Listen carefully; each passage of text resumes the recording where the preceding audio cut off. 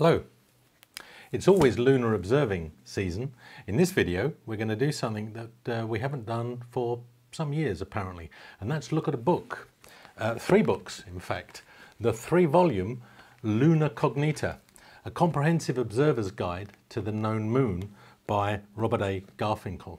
And we'll jump right into why I like this book so much right after this.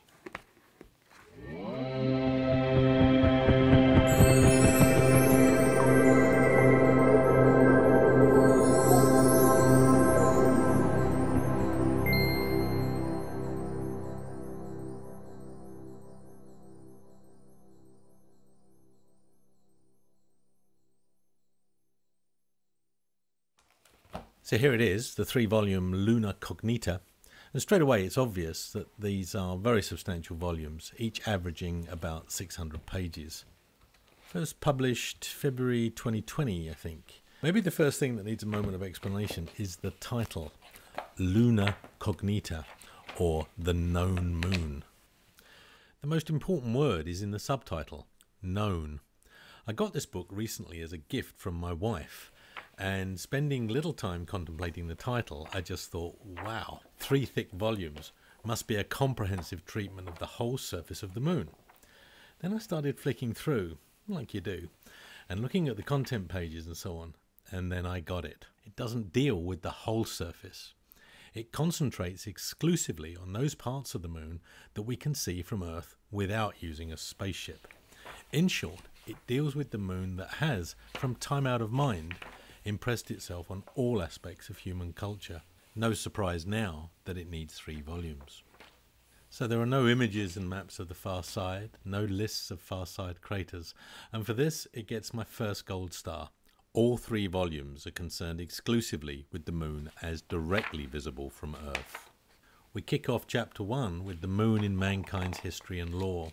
This is a rich essay of the moon's influence on all human culture, starting where it must in prehistory. There's a lovely section here on how the moon appears in prehistoric art. In a way, this idea of the influence of the moon is the staple that binds all three volumes together.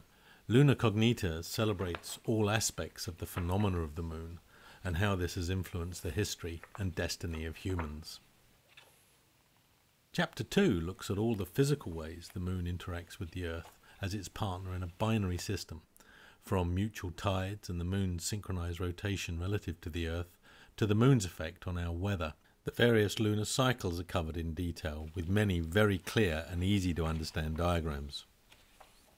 Chapter 3 looks at the history and science of how we come to understand the visible features of the moon, from the time of Aristotle to the explosion of research that began with the invention of the telescope in 1608 and the first observations of Galileo less than a year later, right up until today.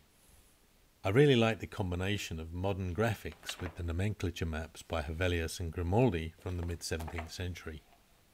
The chapter looks at our understanding of the formation of craters, both volcanic and impact, and how we came to appreciate the importance of impact craters in the shaping of the lunar surface. There's almost too much to show you here, and I need to crack on as there's 32 chapters, plus about 600 pages of appendices, and I can't hope to show you all of it. Chapter 4 looks at the telescope and lunar observing equipment. We start with history and Jan Lipperhey, or Lippershey as some prefer, with some nice details of early telescopic observations. The chapter gets down to some nitty gritty on the details of the resolution of lunar surface detail and looks at telescope accessories and some essentials of observing technique. There's lots of information about telescope designs and their relative merits.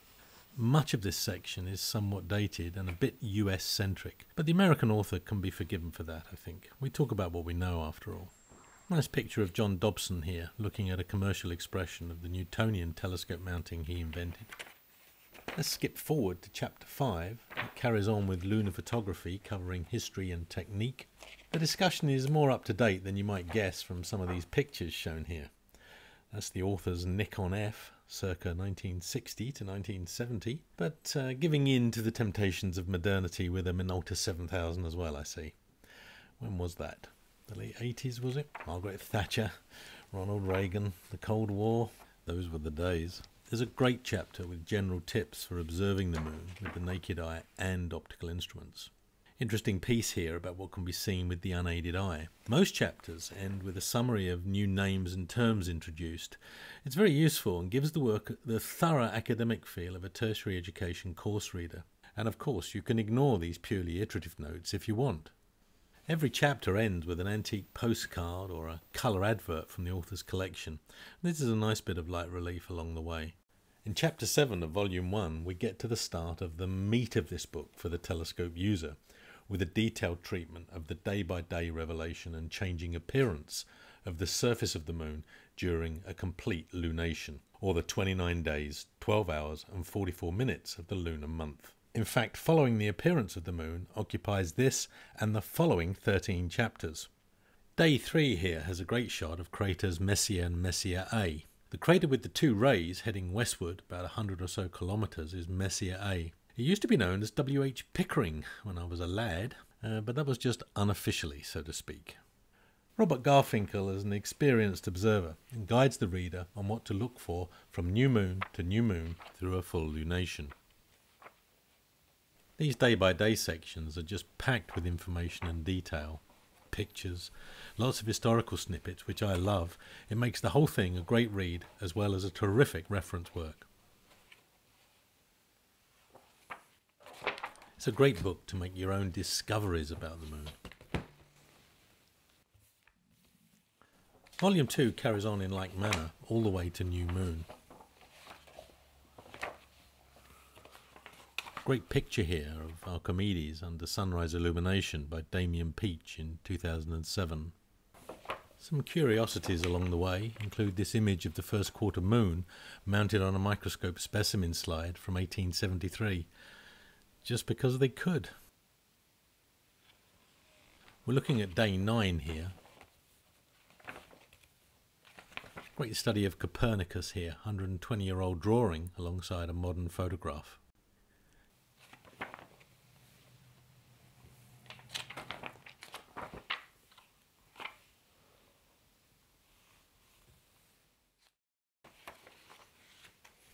In chapter 21, dealing with the lunation days between full and new, on day 18 we have a study of the famous lunar feature that never was, known as O'Neill's Bridge. This is a great section and devotes about eight pages to the phenomenon. The whole history is laid out, as well as all the details of how to see it for yourself. Hugh Percy Wilkins' dubious but well intentioned contribution is nicely covered as well. I was pleased to see that. More about him later. Here's a more modern treatment of O'Neill's Bridge by observer Phil Morgan. It shows the bridge illusion here. Nicely titled Last Light on O'Neill's Bridge. Perhaps the whimsy I'm seeing in that was unintentional, but I like it nonetheless. From 17th of August 2011. The excellent rendering captures the interplay of shadow and light, showing just how easy it can be for even a skilled observer to be fooled into believing they're seeing a cone of light passing under the arch of a gigantic bridge. Anyway, the whole piece is blissful reading. Chapter 21 is the last dealing specifically with the days of lunation, and chapters 22 to 28 deal with all the different features found craters, rills, valleys, domes, and much more. The treatment deals as much with observing them as it does explaining their nature with a lot of excellent diagrams. Chapter 28 explores transient lunar phenomena, or TLPs, these are short lived events that seem to change the colour or visibility of a region and may be explained by gas emissions or other temporary meteorological events close to the Moon's surface. Chapter 29 covers the measurement of lunar features in size, height, temperature, and brightness. Chapter 30 deals with the history and technique of drawing the Moon and includes this startling image of the eastern hemisphere of the Moon by the great Leonardo da Vinci produced a hundred years before the invention of the telescope. It's thought he may have had the chance to look through some of the lenses held by the Vatican at the time, and as some folk will know, who have played around with single lenses with long focal lengths in their misspent youth perhaps, depending on the observer's eyesight, it's possible to see a one and a half times magnified image of the moon without a telescope, eyepieces, or anything, just the lens. So that image might just be the first optically aided image of the moon. Maybe. Just maybe. Lots of detail here on history and technique. Chapter on occultations here.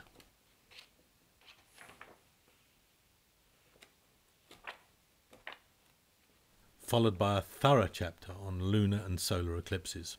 There's a perfect explanation of all the phenomena, plus the history of eclipses, and a good section on how to observe and record eclipses.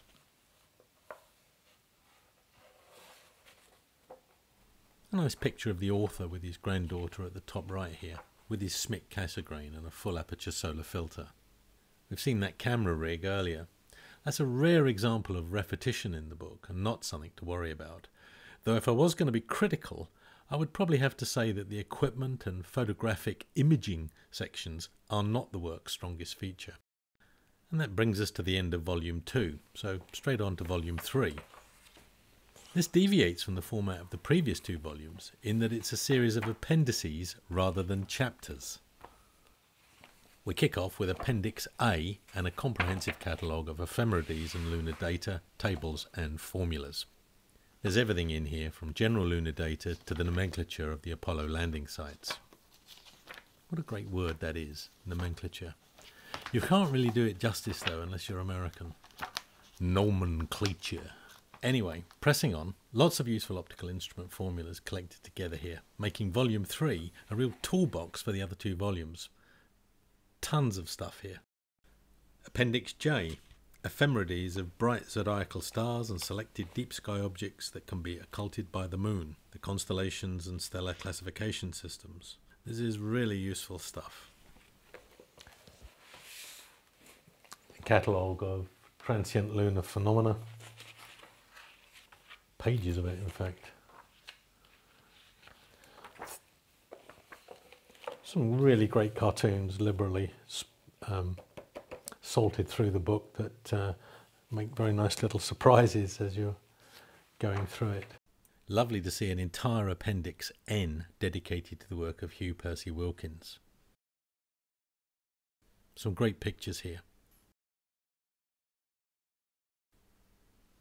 From 1953, Wilkins, busy smoking a fag with Patrick Moore, with the rocket launching tube in the background. It reminds me of a scene from Wallace and Gromit.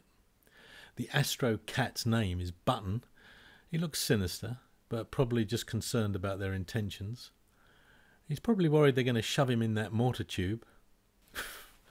I'd be worried if Percy and Patrick were holding me in a vice-like grip like that as well. There's a sympathetic treatment of Wilkins' mapping skills in this section and a complete listing of his feature names. Wilkins supplied maps to NASA. I raise my hat in thanks to the author here for fully recognising the work of Hugh Percy Wilkins. He deserves consideration, and I think he earned it. Appendix O looks at another name from my youth, Donald Menzel, and his catalogue of unofficial lunar feature names. There's a complete lunar atlas in Volume 3, that of Edmund Neison from 1876. There are sample pages of a number of lunar atlases throughout the three volumes, but only this one is complete. This atlas is included more for historical comment there are much better and more practical atlases for the modern telescopic explorer. After the atlas comes a vast and comprehensive glossary. It runs to 80 pages, and it really is an excellent work of scholarship and a great jumping off point for further study, with precise explanations and many references to other works. It's one of the many areas of this work that mark it out as exceptional. There's an equally comprehensive bibliography and index at the end of Volume 3 as well. The bib runs to about 85 pages and about the same again for the very detailed index with named features, craters, people, you name it, all listed in there. Anyway, that's the three volumes that I set out to show you. This is a beautiful book in its range and tone. Not just a great reference work, it's a great read as well. Perfect for lunar telescopists like me who want hard observational detail about small, specific areas of the moon. It's all there and laced together with the excellent scholarship about myths and lunar history, but delivered with the light touch of an author that knows his subject and his audience. The book should appeal to anyone participating in the ongoing cultural relationship with our closest celestial neighbour, a relationship that's as old and mysterious as our species, and unless you've never heard of the moon, that probably includes you. This is the guide to our moon, not NASA's or the Chinese Space Agency's moon. This is about the moon humans have seen and sung about forever. The moon you can probably see tonight and explore with a telescope. This is my copy. I recommend you get your own. Now this isn't a one book does all. Um, this is a very well thumbed favourite of mine, Amateur Astronomer's Photographic Lunar Atlas by Commander Henry Hatfield. Um, pretty old. Uh, I've had this pretty much for as long as I've been doing astronomy. Uh, this copy was uh, goes back to 1968.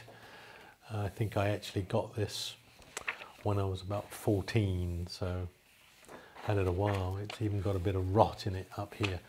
But the reason why I like this book um, is probably because I'm able to go. Um, I might not know where everything is on the moon, but I do know where everything is in this book. And to get a good picture to uh, maybe look at my own pictures and match up uh, details and things, I can use a book like this very nicely. Now there are really great modern replacements of Hatfield's excellent work and this would be a good example of one of them. We've got some familiar names down here uh, and it really is a very thoroughgoing uh, piece of work and not to be confused with the book that we were just looking at. This is pure photographic. It's a really great book to, uh, if you're photographing the moon, a terrific way of matching the shadow details with your own picture. Um, being able to bring your own picture in and look at specifics of what you've captured versus what some of these really excellent images are actually showing. So Luna Cognita is hardly the only game in town. There are different books available depending on what you want to do, but I think as a, uh, a summary of everything that is known about the moon and a sympathetic treatment of the culture of the moon, I don't think this book can be beaten. That's about it for this video. If you want to buy a Luna Cognita or the other photographic lunar atlas that we mentioned in the video, you can find partner links in the text below this video uh, that'll take you through and present you with uh, purchasing uh, options depending on what country you're in. And we will receive on the channel a small commission uh, for your purchase and that helps with our operational overhead. So uh, please give that some consideration. It won't cost you any more and it does help us uh, to, keep, to, keep, the channel going. So please think about that uh, if you are thinking about uh, buying a copy of this really excellent book. Um, other than that, if you want to see more videos like this, don't forget to subscribe and we look forward to seeing you next time. Stay safe. Bye for now.